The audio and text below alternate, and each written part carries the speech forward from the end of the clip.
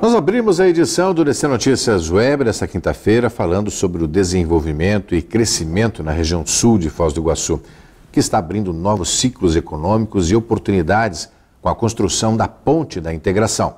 Jefferson abriu um restaurante há poucos meses, mas já tem sentido um aumento na movimentação. Num delivery há um ano, né? Vai fazer agora em agosto, fez em agosto um ano. E aí, através dessa sala comercial, estamos conseguindo atendimento ao público. No nosso local já faz dois meses. A gente abriu aqui há pouco, faz dois meses, né? E está melhorando.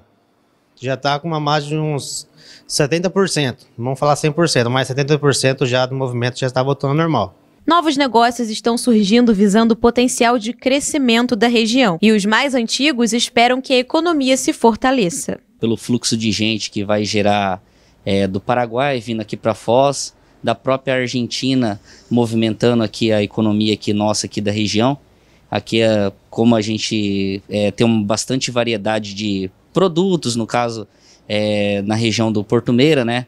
Então acho que seria um atrativo bom para nós aqui do Porto Meira a, é, inserir né, as pessoas que vêm de fora aqui para o comércio movimentar. A segunda ponte fica ao lado do Marco das Três Fronteiras e facilitará o acesso ao Parque Nacional do Iguaçu, Aeroporto Internacional de Foz, Avenida das Cataratas, que será duplicada, entrada para a Argentina e BR-277, o que ajude muito na chegada dos novos visitantes. A gente tá, já está com um movimento legal, o pessoal do turismo já estão passando bastante questão do Marcos, né?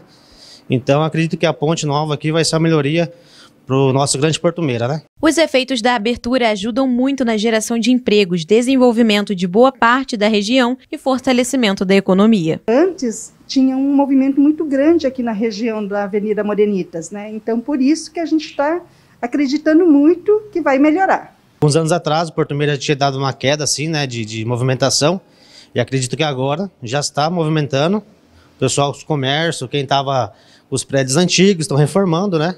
Provavelmente nossa avenida Geraldo Almeida aqui. Acredito que vai ser a bola 8 agora aqui de Foz, né? Uma das avenidas. E vai voltar como era antigamente, né? Aquele movimento, o pessoal compras, né? A gente espera uma melhora ainda, né? Uma melhora a mais ainda.